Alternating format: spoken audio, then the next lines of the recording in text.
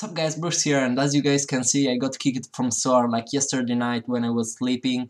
Uh, I got kicked because I was too inactive since Ghost comes out I never played it a lot, so uh, they decided to kick me. Um, I'm too inactive because I'm having a lot of problems with school. Uh, I think that is more important school than games so I decided to focus on myself on the study uh, by the way I will continue to make videos and I hope you guys will continue to follow me even if I'm SOAR or not. So guys nothing more. Peace